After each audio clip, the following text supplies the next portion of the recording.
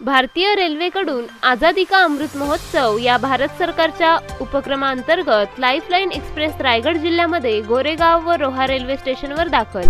भारतीय रेल्वेच्या lifeline एक्सप्रेसद्वारे in fact India फाउंडेशनच्या माध्यमातून तज्ज्ञ डॉक्टरांच्या टीमद्वारे संपूर्णपणे मोफत तपासणी व शस्त्रक्रिया केली जात आहे.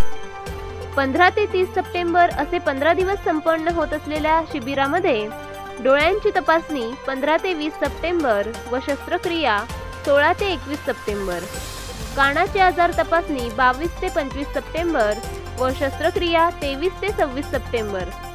वाकडे पाय वयोमर्यादा चौदा वर्षाखाली तपासणी सत्तावीस ते एकोणतीस सप्टेंबर व शस्त्रक्रिया अठ्ठावीस ते तीस सप्टेंबर.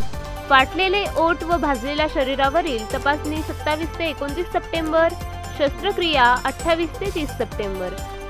स्त्रीरोग उपचार तपासणी पंधरा ते वीस सप्टेंबर दात तपासणी व उपचार सव्वीस ते तीस सप्टेंबर बीपी आणि शुगर तपासणी पंधरा ते तीस सप्टेंबर. तसेच या कालावधीमध्ये येणाऱ्या रुग्णांची तोंडाची तपासणी अद्ययावत यंत्रसामुग्रीच्या साह्याने करण्याची व्यवस्था करण्यात आली आहे. सर्व तपासणी व उपचार मोफत असून रोज सकाळी नऊ ते दुपारी चार पर्यंत लोकांना शिबिराचा लाभ घेता येणार आहे. तरी शिबिर परिपत्रकाप्रमाणे जास्तीत जास्त रुग्णांनी उपलब्ध झालेल्या संधीचा गोरेगाव रेल्वे स्थानक या ठिकाणी जाऊन लाभ घ्यावा. झंझावात न्यूजसाठी प्रतिनिधी रुपेश रातवडकर गोरेगाव. झंझावात सोबत जोडून राहण्यासाठी लाईक करा शेअर करा सबस्क्राईब करा आणि बेल आयकॉनवर क्लिक करा.